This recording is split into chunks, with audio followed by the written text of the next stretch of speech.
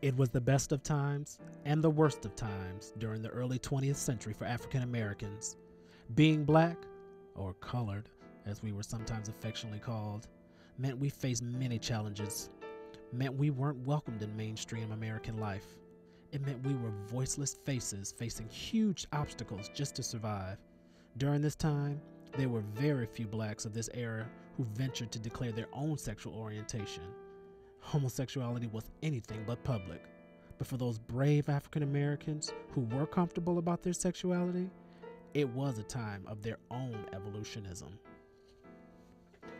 Langston Hughes. He achieved fame as a poet during the Harlem Renaissance.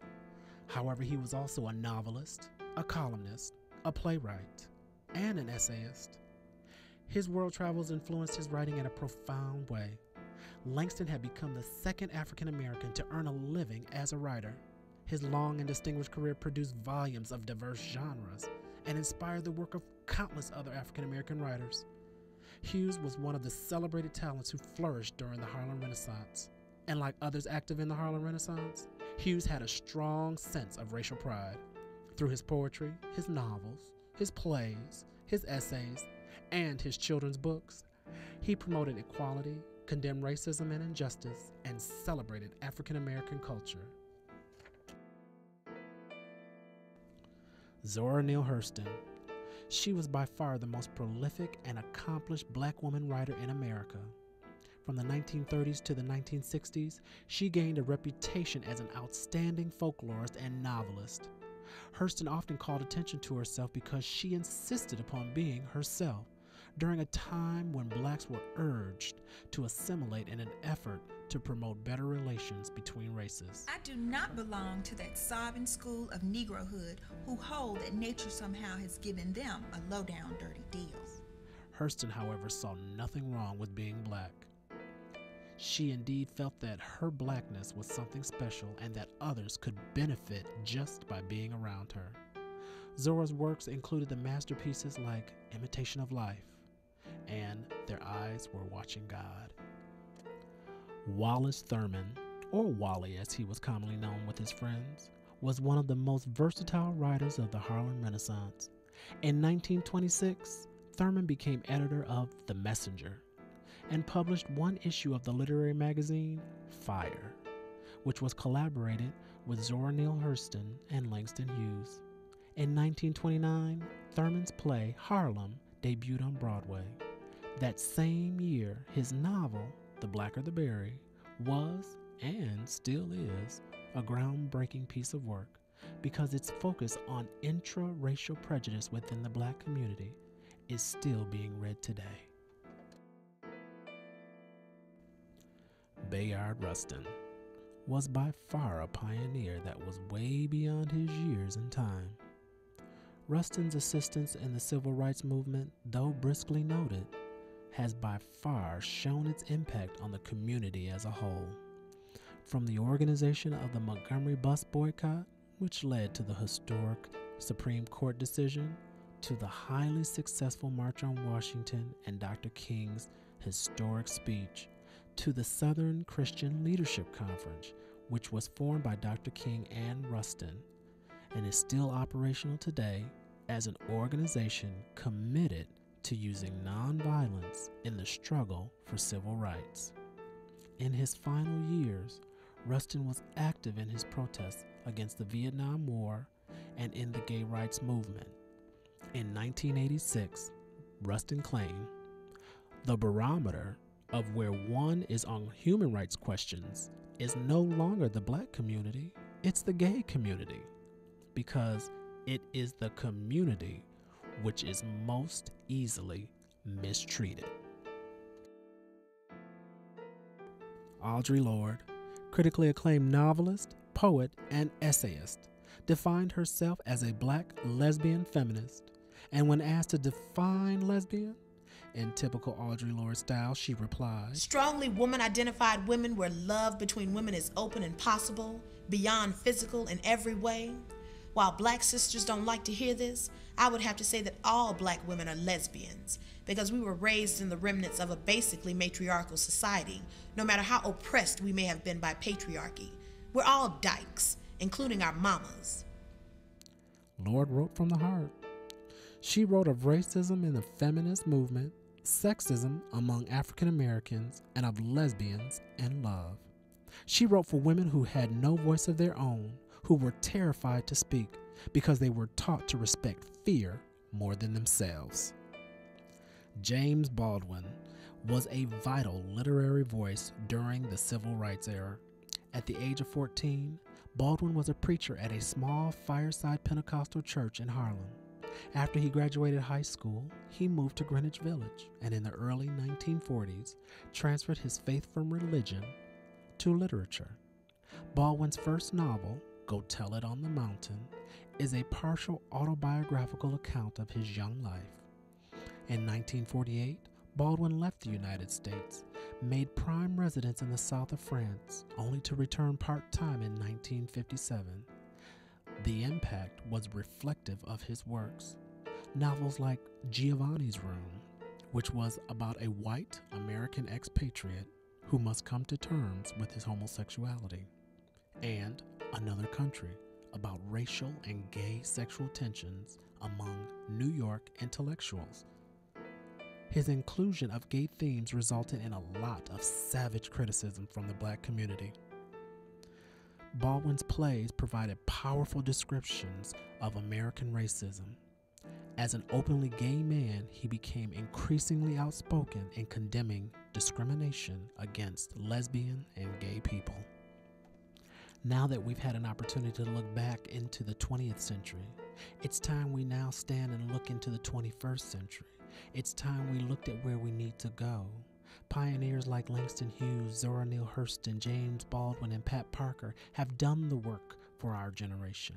And it's our job to either improve on what they've done or initiate something new for the next generation of black gays and lesbians. It's time we ask the question what does it mean to be black and gay in America today?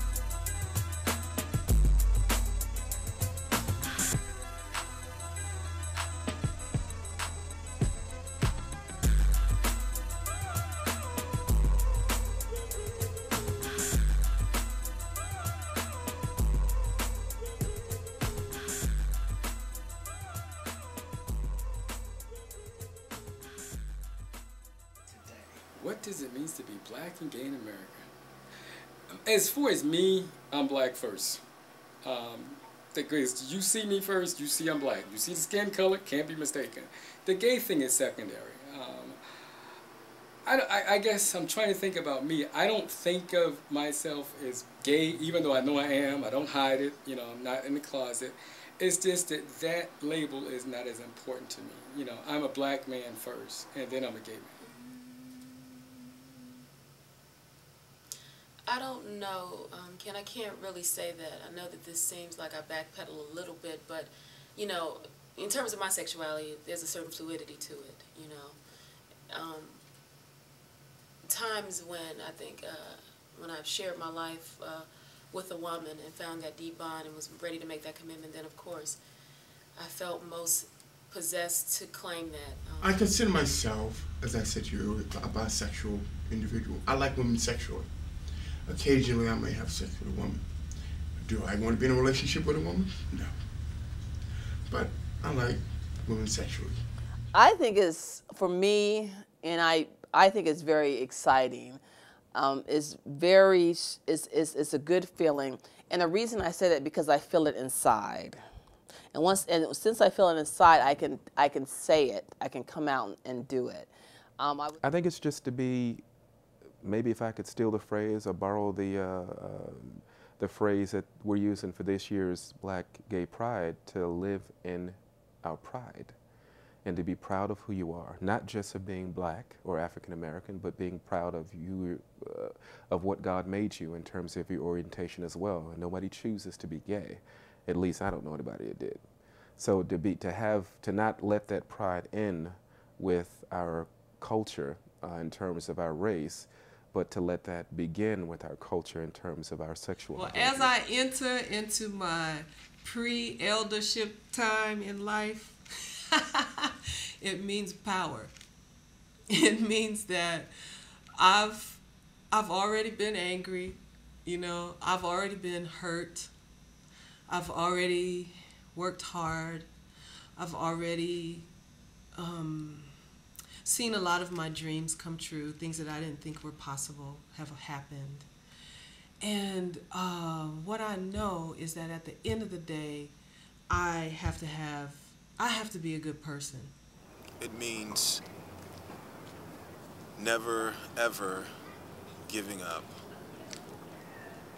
And I say that because at one point, to me, being black and gay in America meant to uh, commit suicide. It meant to to live in a, a constant state of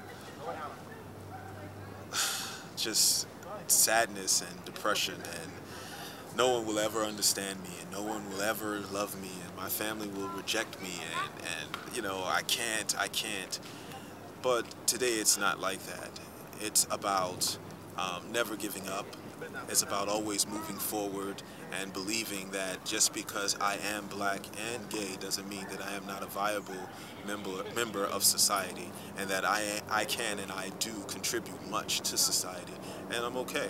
And so is everyone else just like me. So it's cool.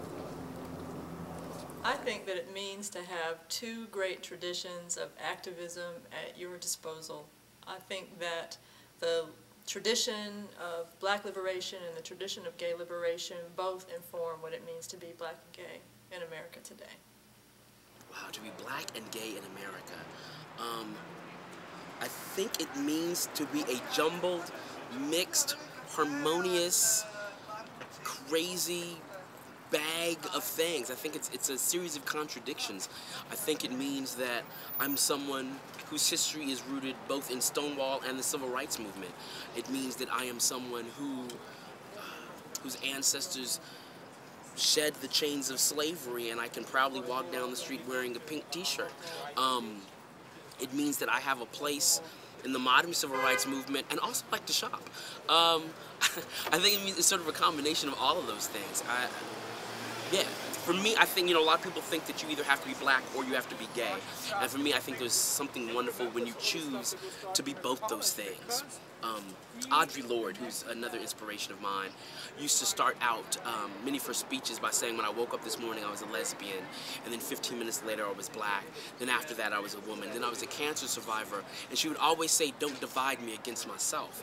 And I know for myself, I take that to be a personal motto throughout my day that I don't want anyone else to divide me against myself, and I'm not going to divide myself against myself either.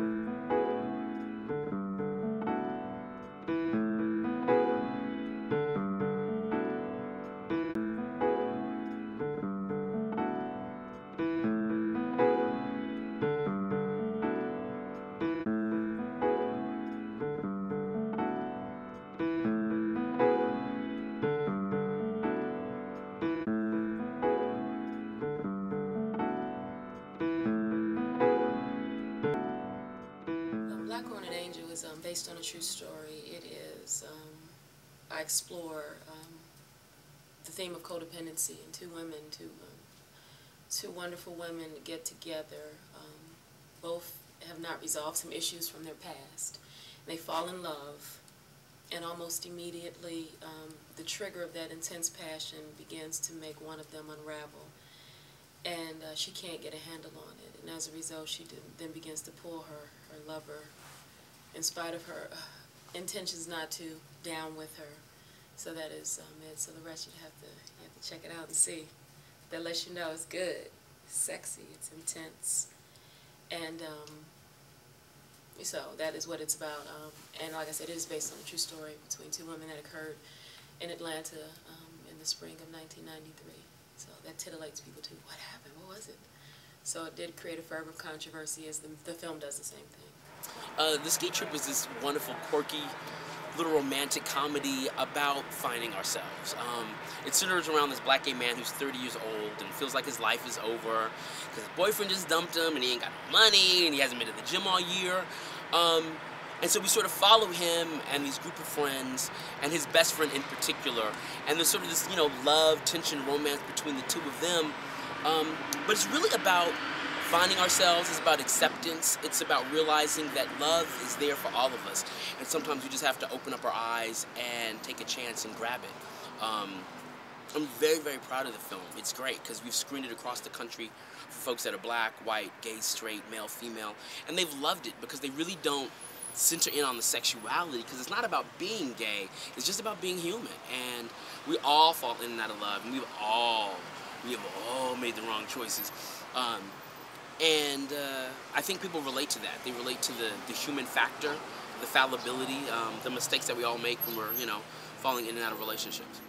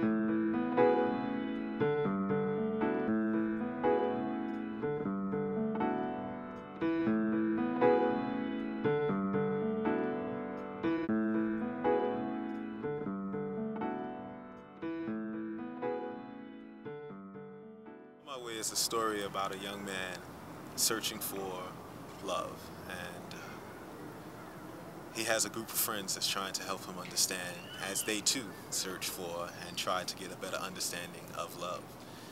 Uh, the young man eventually finds it. The question is then, can he keep it?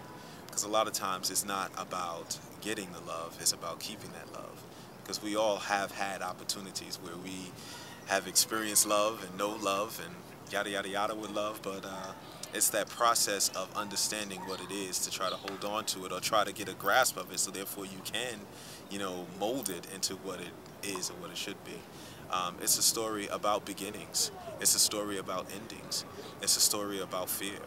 It's a story about, uh, wow, so many different things. Uh, my first book is the Bull-Jean Stories. It's a um, collection of linked stories published by Redbone Press, and it um, it is the central um, character is someone named Bulldog Jean, and Bull Jean lives in different geographic locations, different lifetimes, uh, different time periods, trying to learn her life lesson, which is to love herself. Uh, Bull Jean is what we would call a butch um, lesbian, um, and her language when she speaks is poetry.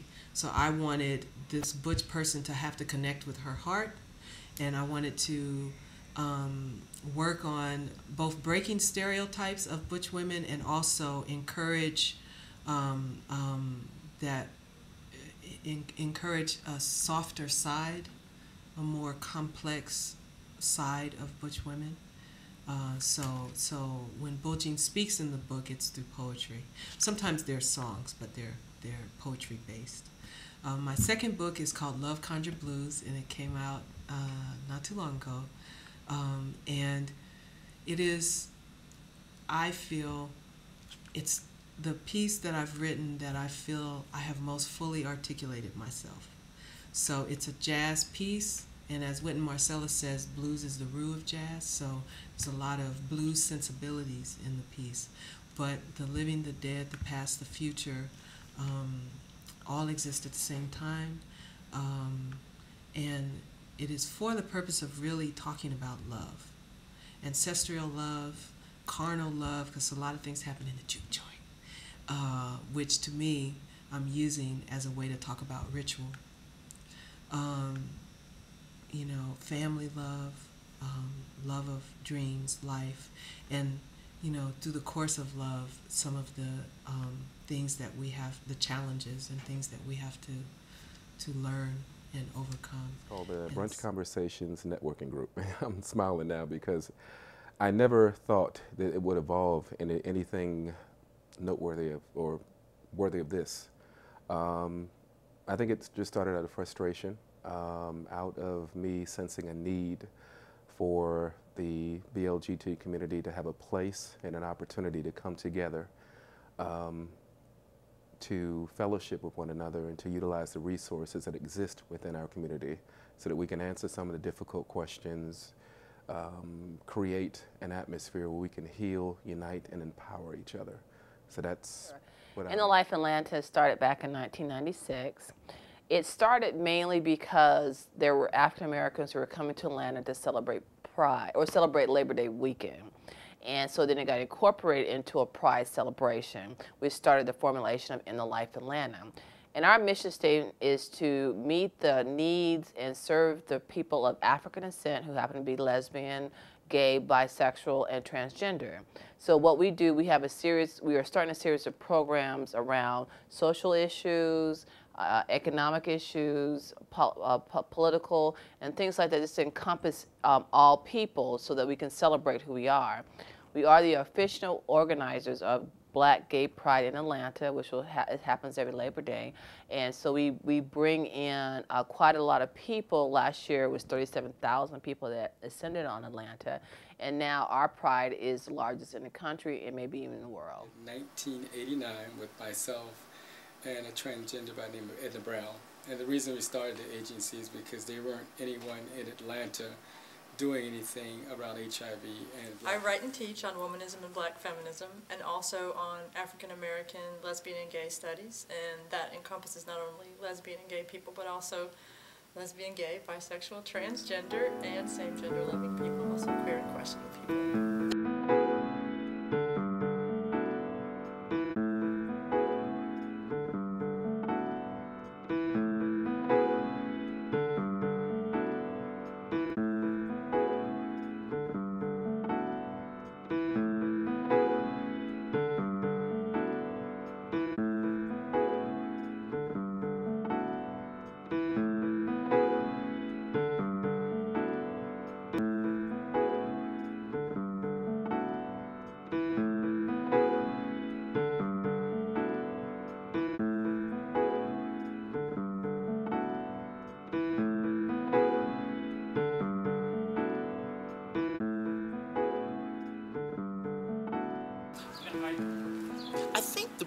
Misconception is probably that there isn't a lot of joy there. Um, I am happy as a tangerine on Christmas to be black and gay. I am. I think it's fantastic. Um, and I really enjoy the black gay community. I do. I, I've been so blessed this last year to be able to tour and go to different cities and hang with different communities. And I love the combination, you know, of voguing and barbecue and um, you know, balls and fried fish sandwiches, I think is great. I think is the best combination of things in the world. So I think that's probably the misconception is that there isn't a lot of joy in our community um, because we hear so much about HIV infection, we hear so much about being on the down low, we hear so much about homophobia. But the flip side of it, I think, is that there is a wonderful community um, all across this country um, that unites and celebrates being both gay and being black. Um, that we are sinners, you know, that we're sinful, that we're dirty, that we are, people need to protect their children from us, that we are not loving, that we are, I mean, it's too, it's so many, it's, I think it's a box with about a hundred of them in there. Um, but at, I think it kind of all centers around the misconception that we are um, really just not human, that we don't have that we don't house humanity. That two men or two women can't genuinely love each other, and that it is um, primarily bred in sex. And I believe that that is the biggest misconception. The idea that love between a man and a man or a woman and a woman is something that is not possible. That just baffles my, my mind whenever I'm confronted with that argument with people. Recently, last summer, I had an argument with someone that lasted almost four and a half hours, um, saying that it's impossible for a man to love another man, and that my lover and I were just wasting time. Interesting. I don't see it as so different from heterosexuals in the sense it's going to be the same violence, the same fighting, the same heartbreak, the same lies, the same all of those things. But um, you know, I think time is of the essence with us, um, and you know, until we collectively come together and see that it is a mutual struggle for liberation, and that until we begin to see our lives reflected in mainstream culture honestly and truly, not stereotypically, we will it'll feed into the sense of inferiority that we experience and feel, and it'll get us nowhere. It'll be circuitous. That we're, we're what they see on television. And that ties right into the last conversation that we had at the last brunch um, images and media. Um, we have uh, kind of a one dimensional image, in my opinion, um, of what our community is and looks like and who we are. And it's certainly not balanced or anyone that I know that I can um, identify with. I think there are outside. two kinds of misconceptions that the mainstream black community has about its gay, lesbian, bisexual, transgender, and queer members. One misconception is that we're somehow different in ways that should exclude us from community membership. While there are differences uh, between us and people who have different kinds of relational orientations, in the main, we were raised in those same communities, and we carry basically the same values and the same interests as other members of that community. So I think that that's one misconception. Another misconception is that we should stay silent about who we are. I think that a lot of people really buy into the belief of don't ask, don't tell, or, you know, it's all right if we don't mention it. But I think that those days are past. I think that it's time for the black community to accept that black people who are lesbian, gay, bisexual, transgender, or queer have not only every right to speak out about their experiences, but that the community as a whole benefits when they do speak out. I think we have some issues to deal with. Um, I guess our own sexuality. You know, we have people that want to say they're on the DL or they're in the closet or they're only gay when they go out. So I think that self-esteem issue and us accepting who we are is a The large biggest problem. misconception is, I think they, is, is about the partying. That it's about 24 by 7 once you come here. And uh, the behavior, the sexual misconduct that, that may happen or may not happen. And that the lifestyle style is so perverted and child molesters and, and, and, that, and that, that type of information. A lot of people get that from the, the media, and because they're not aware, and it's just lack of awareness to see really what's going on.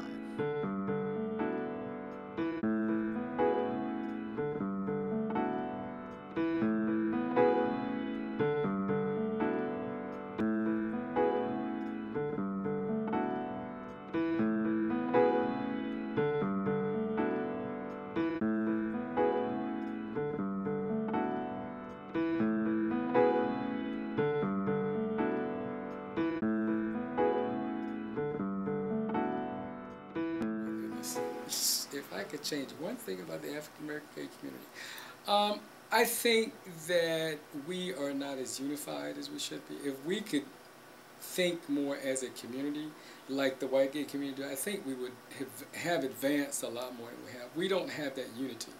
Um, we're always splitting ends or pulling each other apart. So I think that's one of the problems that we face as black. Some of the sickness that actually I think manifests within the community around sexuality is other people's sickness. It was not me. You know, the the ways that people hush and hide and lie and still do everything, you know, is the sickness, not me as an out queer person. I think if I could, I don't know that I would change it because I think our pain is important and our pain, we get strength from our pain and our challenging situations. Um, but there is, the flip side, I think, of being black and gay in this country is that there is a lot of sadness. I've known a lot of people who lost, who, uh, who had bad relationships with their families when they came out. Um, we've lost a number of wonderful and important people um, to the AIDS epidemic in our community. And so, while I wouldn't change the pain, because I think we learn from it, um, it saddens me. One of the things that concerns me greatly is the relationship between various religious communities and black, gay, lesbian, bisexual, transgender, queer people. Um, I see a lot of conflicts in individuals who belong to religious communities who are trying to develop their spiritu spirituality and affiliate with religious or spiritual communities who often aren't ready for their presence as gay or lesbian people. And often individuals who are gay or lesbian find rejection um, within their religious community. So I view that the religious domain is an area where we really need to do some work historically, black churches and um, mosques and other religious organizations have been a place of strength and um, balm for members of the black community. The same thing should be true for black, gay, and lesbian people. I would change the depression. I spent many, many years uh, disliking myself for who I was. And uh, the pain, the loneliness, the pressure, the the expectations, the uh, oh my God, it was horrific. It was horrible. I, I I would change that. I would change the way that people teach their children. Um, that you know, it's it's it's it's Adam and Eve, not Adam and Steve, or not Eve and Eve, or whatever. But I would definitely change that. Um, because what we do is we we we uh,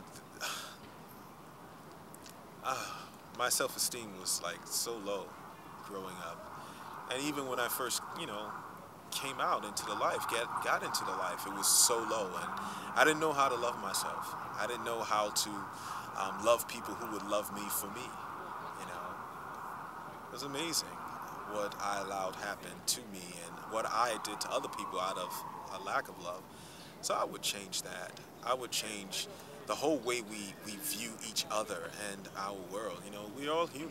We're all here, you know, experiencing life. Wow. Let each other experience, let us experience it in our own unique way without judging. Let's, let's, let's, let's love each other more. Let's embrace each other more and stop putting uh, rivers between us and, and, and destroying communication and, and living in this top, bottom, masculine, feminine, this, that world is, ah, it's crazy. Stop that shit. It's stupid, and I'm sick of it. You know, grow beyond that. You know, be more. I think I would change the stakes. They're so high. Um, to be an artist and to be gay, whereas when most people face up to themselves and their truths, it may make people feel uncomfortable and they may lose a friend or two, but you talk about in terms of this losing potentially everything, you know, the crux of the family, lifelong childhood friends, um, your life, your livelihood. The stakes are just too high, I think, and it takes a certain kind of person. And think think of it this way: the stakes are so high, and the price is losing everything. And the only thing that helps to deal with losing everything is the thing you lose.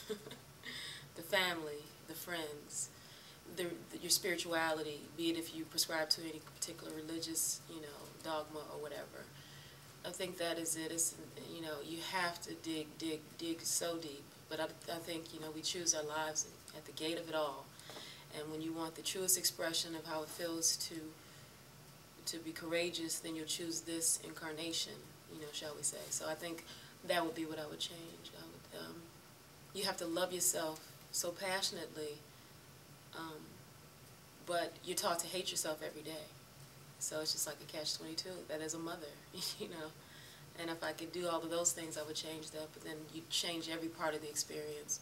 You truly begin to know who loves you and who your friends are. You truly begin to know that you want to do this art when you have to fight against those odds. So I'd say, you know, that's the good part. I'm an optimist, and naturally I always have to put a spin on it because I really feel that way. But if I could change that one thing, it would be that, you know, you were allowed to be authentically who you are without having to put everything on the table. Now, a lot of times you don't lose, you gain and you have tremendous experiences and stories where someone only, you know, you know, had a, had a wellspring of support from family and friends and church and state and everything. That happens not to be um, the case with the majority. I don't know that I would. I think every experience and every negative and positive experience that I've had has made me part of who I am today.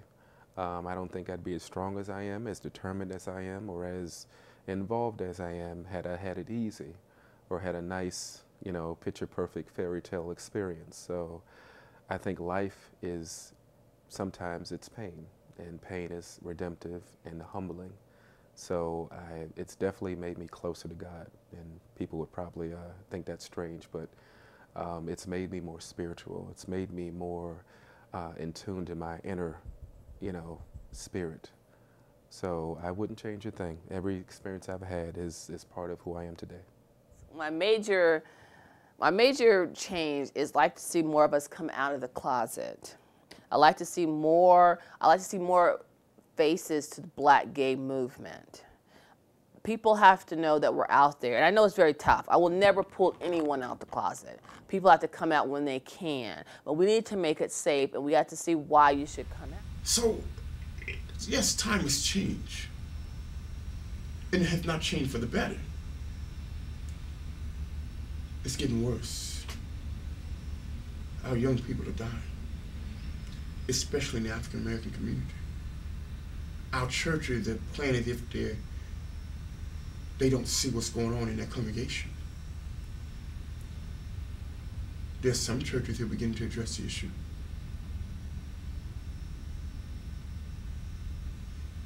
But it's important that we try to take our young people and educate them.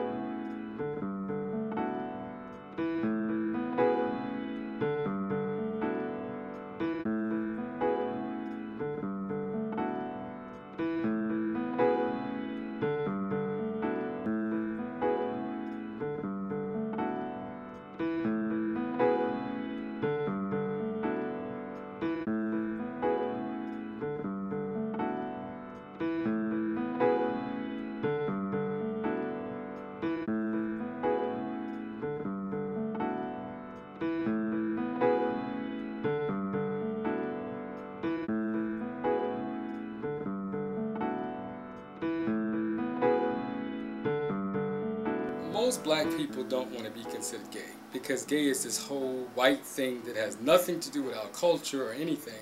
So to me, it's a way of people saying they're on the DL. It's a way of saying I'm gay without saying I'm gay. Because most of the guys I talk to that say DL, they have no intention of sleeping with women. They don't sleep with women. They don't date women. They have no intention of dating women. You know, and then you have even from the effeminate to the masculine say they're on down low. And to me, it's just another way of us identifying ourselves other than saying I'm gay. It's easy to say I'm on a DL as opposed to saying I'm gay without dealing with all that connotation that goes behind gay. I think that young black gay and lesbian people today are more out than their counterparts from eras past. I think that um, they're having an easier time finding each other, an easier time finding community. And I think one of the nice things about being a young black gay and lesbian person today is that you don't have to turn to the white gay community to come out. I think that you can come out in the context of, of your own people. Um, I think, though, that one difference from um, the gay and lesbian community of the past is that young black gay and lesbian people today are a little bit less political than their elders were. And I would like to see actually young black gay and lesbian people pick up the threads of political activism that some members of past generations demonstrated? Difficult question because on one hand, I think that we, on one hand, I applaud um, the gay community because I think from when I came out to now, um, the youth are much more visible. Um, they're out there, they're, they're proclaiming their, their gayness and they're proud and they're not ashamed, they're not hiding behind the closets and things like that. But then at the same time, I think that we've stepped back so many different feet with the whole um, DL phenomenon and, and uh, it's, it's so difficult, you know, thinking about where we are right now. Um, my hope is that 10 years from now we won't be where we are today. Most folks would say that we've evolved. Um, I'd say that uh, we have forgotten our, um,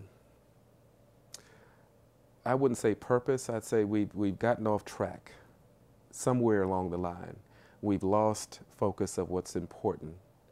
And uh, we've just become very fragmented. So if we could just get back to, and maybe I'm be, maybe I'm biased because 10 years ago is you know kind of like somewhere along the line when I came out, and maybe maybe it seemed that, that things were more impactful or things are more uh, powerful then, but at least they did they seemed that way to me. So if we could get more on track in terms of finding the thing that unites us, you know, there, there are several things that all of us can agree upon that need to happen. So if we can get on board with that and create some unity and, um, you know, not be so fragmented, and be focused just on a few larger things. You know, we can't change the course of evolution overnight, but if we can just, you know, I always tell folks at the uh, networking brunches, if we can come away with one or two things that we can do to resolve the situation or deal with the issue or heal our community, then then that's what we need to focus on as opposed to everybody's personal agenda, which is I think what we have evolved No, You know, I think people that maybe well, 10 years ago, um, there wasn't as much language to talk about our realities. I think there's great privilege with language because once you can articulate something, you can look at it, you can examine it, you can see it, you can change it. Words have power and then also it shifts our own energy to be able to articulate things. So I think that there is more language. We have the privilege of language that people died for. You know, I think that we have more organizations. I think that we're more organized than we were 10 years ago. So we have place. Now we certainly don't have everything that we need and the things that we have are not perfect in any means, but we do have more. Um, I mean, it used to be basically the club and somebody's living room, you know, and before that, that was dangerous. But there was even less of that, you know. Um, but I think that we we we have place, we have we have the privilege of language, and we're a little more organized than we were. And I think we're even starting to come out of our communities, quote unquote, our geographic communities, and connect uh, cross country and internationally. And I think that's going to be our real power. You know, it's interesting. Um, back in the 80s and the 90s, there was sort of this amazing resurgence of black gay art. You had um, filmmakers like Marlon Riggs, you had writers like Essex Hemphill, um, you had a number of artists that were out and proud. And then through the whole hip hopization of the black community and the whole ghettoization of our culture, we sort of lost some of that. Um, and so I'm hoping that what's going on now is that with uh, filmmakers like myself and, and Patrick Ian Polk, um, and through some of the wonderful writers that are out there, that we're having an opportunity to sort of reshape that paradigm and shift some things and sort of see an emergence about being out and being proud um, and talking about who we are and, and displaying those images and telling those stories. I just think that we wouldn't, 10 years ago even, we weren't sitting in this room, we weren't having this discussion. This wasn't even at the table. Um,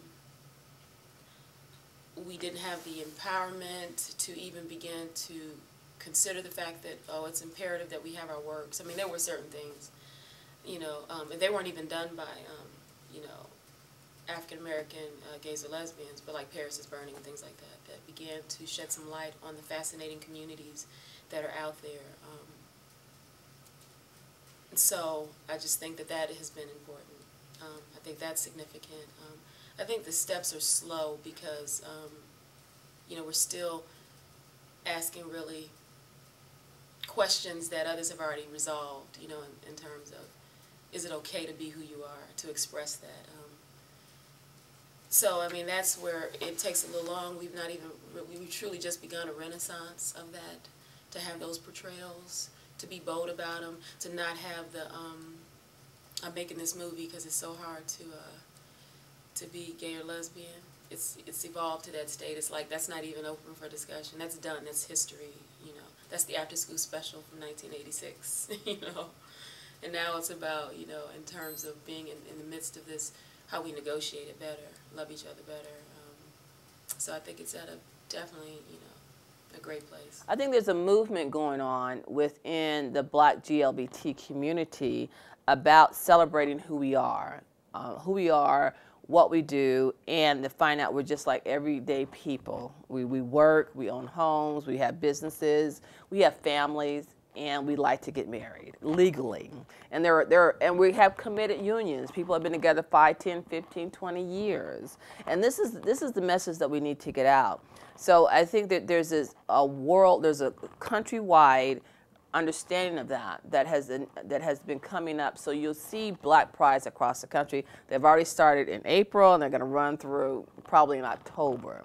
So that that gives a sense that people want to be black and they want to be out and they want to be prideful about this. And with that, you'll see that you'll see the you'll see the nightlife and you'll see a lot more empowerment programs and speakers that come in. So it's a new way of living and that above all, we want to be a force to be, to reckon with because in a political era, era if we see when, when the politicians can see that we have numbers, then they'll start coming to our table. They'll start, you know, saying what is going, what can I do for you? Try to make a difference in our community. Try to educate our young people, not just the young people, but the old as well. Instill with them that it's okay to have fun, but do it in a safe. Be the best that life has to offer. Whether you be that garbage man, that police officer, that nurse. Be the best. Educate yourself in that field. Be the master in that field. That you will not have to ask people to respect you. That you'll be able to do your job. And people will know by your works and by your work you will be respected.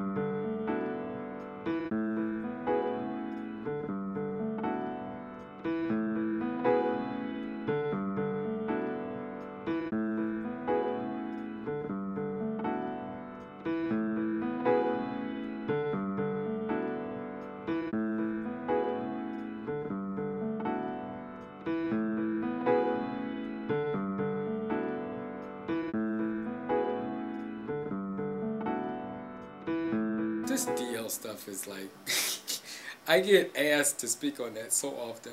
It's not like closeted men have not been sleeping around since the beginning of time. You know, everybody all of a sudden, because what's his name, J.L. King, I think is, came out with his book. It's like all of a sudden we have this big phenomena about DL. You know, they've even in my father's generation, there have been people that have been married and sleeping with men. It's nothing new. It's just J.L. King brought it to light. And my take on that, if we as a society, as black people, would accept people for who they are, then they wouldn't have to get married and pretend they're something that they're not. You know, I, I know a number of pastors that have been married and are gay. You know, and, and the wife knows it. It's just that kind of arrangement, and it's nothing new. Um, I, I think it's another rift between black men and black women because a lot of the workshops and a lot of speaking engagements, you, you have women, well, it's y'all fault. Y'all don't tell us that you sleep with men. I said, but at the same token, you think you say it's all right if you know a husband got a girlfriend down the street. That doesn't make sense to me. You should be upset if you have a if it's another woman or another man. It doesn't matter who it is. But it's just another rift between black men and black women. And I came here, like I said, 89, 90, and I look at the numbers of black people that were infected with HIV. Back in 1990, I remember we were like maybe 30% of the cases in Georgia. Now we're 72%. You know, that's devastating. And it's not going down. You know, that's just Atlanta. That's a national trend. Uh, you know, because we as black people have so many other issues that, that we're facing, economics, unemployment, you know, poverty. And HIV is just another added burden on that plate, and people just don't take it seriously. You know, there, it goes back to, uh, what is it, Maslow's hierarchy of need. We're going to think about how we're going to have food, shelter, and everything else before we think about, well, I may get infected if I do this, or I may get infected if I do that. And unfortunately, most black gay men don't think their life is worth living anyway. So it's okay, I'm going to get HIV eventually. What do I care? Sooner or later. I think that the down low phenomenon and its sensationalism suggests that there's a lot more to sexual identity than we acknowledge. I think there are a lot of points of gray in between gay and straight, and I think that we don't have a well enough developed language of sexuality, of sexual identity, of sexual experience, of sexual desire. I think it also indicates that in the popular imagination, we haven't really decoupled sexuality and gender. Most people assume that if you are attracted to members of the same sex, that you are going to have characteristics of the opposite gender, and they assume that if you are attracted to members of the opposite sex, that you're going to have traditional versions of femininity or masculinity. I think that that's a problematic assumption, and the down low helps point that out, because clearly one of the issues related to the down low phenomenon is um, men who want to have sex with men but who want to think of themselves as masculine. I think another issue in the discourse is that a lot of people assume that the down low only applies to men, and I think that it applies as well to women. I think you can find women who are on the down low by all the traditional definitions that are used. Unfortunately, uh, the down low phenomenon is also used as a way to cover up issues of accountability related to um, sexuality and particularly with HIV AIDS. So um, I think that, that down low phenomenon is very interesting. It gives us a lot to talk about and a lot to think about that we haven't even touched on yet. Change about the media. I think I wish there was just more more honesty and more integrity um, in media as a whole. I think whether it's television, whether it's creative, whether it's documentary work, whether it's the news, there's so much manipulation that goes on. Um, and I think that's really unfortunate. I know within our community, there's been all this discussion around, you know, being DL and being on the down low. But so much of the information that came out really wasn't information. It was scare tactics or stories, um, and in some cases outright lies. And it never really got to the heart of the issue. It never got to the reason why there are men and women out there who aren't comfortable with who it is that they really are. There's a reason why people don't come out of their skin, so to speak. And that's a discussion that I would love for us to have, but unfortunately, in the media, we haven't had an opportunity to have that because it's more about headlines. It's more about headlines. It's more about opening weekends. It's more about making the best sell New York Times bestseller list as opposed to actually doing something that speaks to folks. Life is complicated. I'm sure that is a real complicated thing, and um, you know, women are on the down low too. So speaking, I'm not just talking about men. Uh, you got more church ladies that are just big dykes, married folks.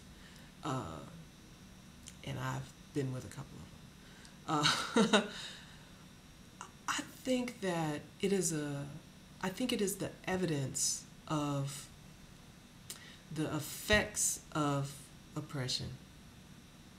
I think if people were free to fully express themselves both in their sexuality and how they adorn themselves and in how they want to live in the world, what kind of jobs they want to have. If people were truly free to be who they are, I don't think there'd be any down low. There wouldn't be a reason for it.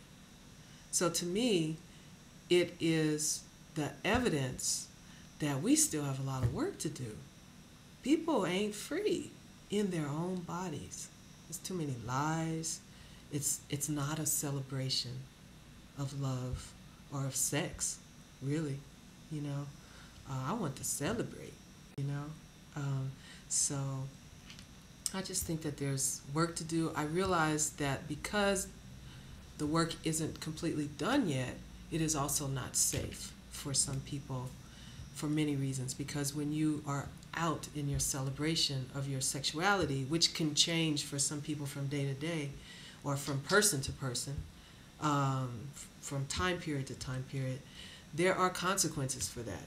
You know, uh, you may not get a certain job. You may not, um, your family may not want to deal with you. You know, uh, you may lose your status, whatever that means to you. Uh, you you may be subject to violence, physical violence, um, and most of all, you may have to deal with the truth about yourself that may destroy how you've constructed your life. You may have to change. So I know that it's complicated for people, um, and so I don't feel a judgment on it. I just see it as as evidence that there's a lot of work to be done. Hated it. no, it is.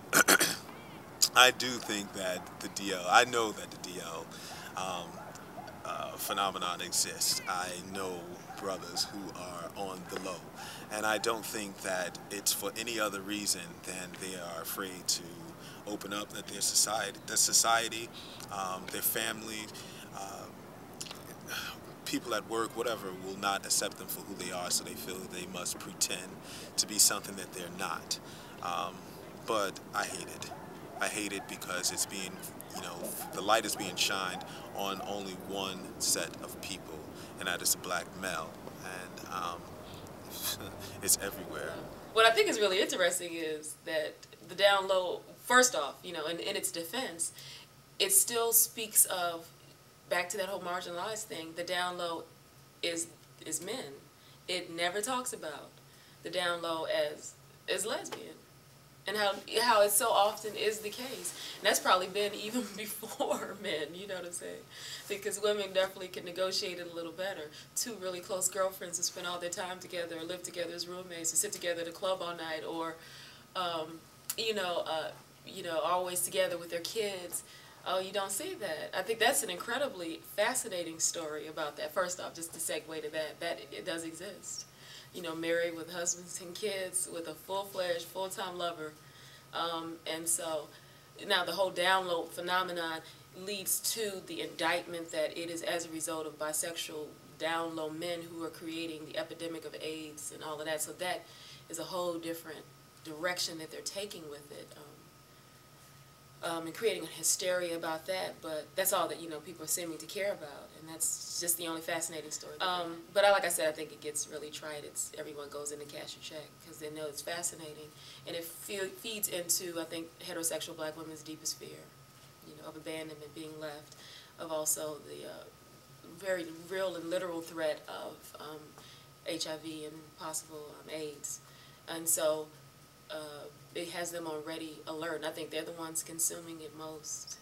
Uh, I think the media has talked about that with enough. Um, I think it's been exploited to the level that anything can possibly be exploited to. Um, I believe, uh, as Keith Boykin does, we need to get beyond the, bound, the, the down low and deal with some real substantive issues. Uh, nobody ever wanted to be in the closet if society was indicative of what we say it's about and this country held true to its ideals and, and true purpose, then there would never be a down low or any need for anyone to be in the closet. They're in the closet because they don't feel safe and they don't feel loved or feel that they will be accepted, especially within our community. So we have a lot of work to do with respect to that. I think that's a, an individual with a lot of baggage what you're doing is trying to hide who you are. You're living a miserable life. You're trying to please somebody else. You've gotten married. You've had kids. You're trying to put this big family scene together. And now you're miserable. And you're going out in left field trying to hide what you're doing. So you want to classify yourself as on the DL. You're vicious. And you need to be honest with yourself.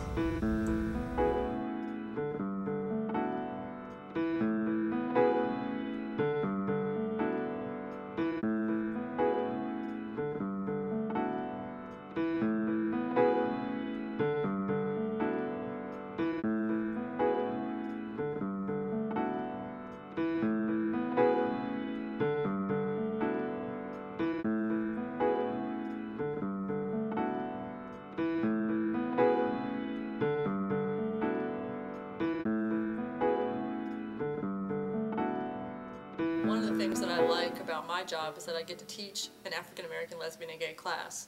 Um, to my knowledge, it's one of the few such courses in the country, and I feel very proud and delighted to be able to offer it because I think that it really enriches the collegiate experience of the black, gay, lesbian, bisexual, transgender, and queer students. The first thing that I try to convey is just that we have a glorious history. You know, a lot of times the figures that have been important to our community have been suppressed, or if they haven't been suppressed, then their sexuality has been suppressed. And I like young people to know who our heroes are. Um, I like young people to know the things that we've done, the contributions that we've made to larger histories. So that's the main thing I try to convey. Um, the other thing that I try to convey is just self-love. You know, as I said, I see a lot of young people struggling with internalized homophobia, and I try to do everything I can to go against that and help them realize what a wonderful experience it is to be a queer person of color. Um, I would tell the next generation of filmmakers to do your thing, to not let anything stop you. You don't need a million dollars. You don't need a big name star. Um, pick up a camera. I don't care what kind of camera it is, and begin to shoot and tell your stories and cut them together. Um, whether it's a five-minute film, a two-hour film, whether it's a five-hour epic costume drama, whatever it is, tell your stories because no one else can take the place of your voice. And if you don't speak, if you don't sing, if you don't dance, if you don't write, if you don't make your film, then no one else will be able to do that. And that's something terrible that we would have lost. To be true to yourself, to be true to your inner power, to find out who you are as a person, use your skills to make the world better. And as you go through, you fall in love with your inner power, you fall in love with yourself, and you love people around you. You, you take the courage to be who you are, be it gay or, or bisexual or transgender, and use that sense, that special type of love, and know that you're special for others to know. And that we need you to come out. And I think the younger people get it. They, they are coming out and they are proud of it and they're happy. Um, and they and they're strong about it. And I, because I said it some with some some uh, students at at Georgia State, that they they understand what their blackness is, they understand what their gayness is, and they're going to make it work. And and they're having conversations with their parents a lot sooner, and their parents are a lot more accepting. Some aren't, but they're a lot more accepting. So they don't feel some of the same chains that was on generations before. So I always encourage them to keep their inner strength, know who they are. Um, we're, we're going to make mistakes as, as young people, but just find an older mentor and then also be there for yourself so you can learn, take it in, and then bring somebody out. Tell so, your stories. Don't let anyone stop you from doing what it is that you need to do to show what life is to you and how because one of the things I always say is that tell tell aspiring writers is that people are waiting to hear your voice. You know, you, you hear the voice that's out there, you, you see the voice that's out there, and you think, okay, what can I what can I contribute? Oh, I don't have anything to contribute. And to me that's just a crop of shit because you do have something to contribute and that's where I was. And as soon as I put it out there, the universe, you know, sent people running to it and then back to me saying, "Hey, you know, this is this is my life. This is who I am." And, you know, people are waiting and it's your responsibility to give it to them. And so do it. Don't sit around and, and hope and wish and pray. Just do it. I love that slogan by Nike. Just do it. Do it. Be bold about it. Um, don't settle for the first draft. Write and fine tune. Um, I hate to be like this, but it's almost like as as blacks we were told you got to be ten times better. Oh, you want to be a black, you know, gay or lesbian filmmaker. It has got to be an incredible script. It's got to be phenomenal acting, and it has got to be a vision that stays the course. And you have got to wrestle all the support you can possibly have. And you have got to hustle your project. Um, and you know, you have got to know your craft. You've got to master as best you can every facet of filmmaking. Um, and you have got to, you know, boldly and blindly, you know, throw yourself out there and be ready, you know what I'm saying? Um, so you have to be 10 times better, 10 times tougher. But I think, you know, I think you knew that already. I always tell folks I do daily thoughts. Um, you know, and this is part of my email ministry, uh, my contribution to our spiritual nourishment, because I think part of that healing we talk about, we have to heal, heal spiritually as well, uh, inside and outside the black church. So I always tell folks to be encouraged, um, um, be empowered, and, um, you know, be hopeful. You know, change will happen. It doesn't happen overnight. Didn't happen overnight in the 60s. It didn't happen overnight.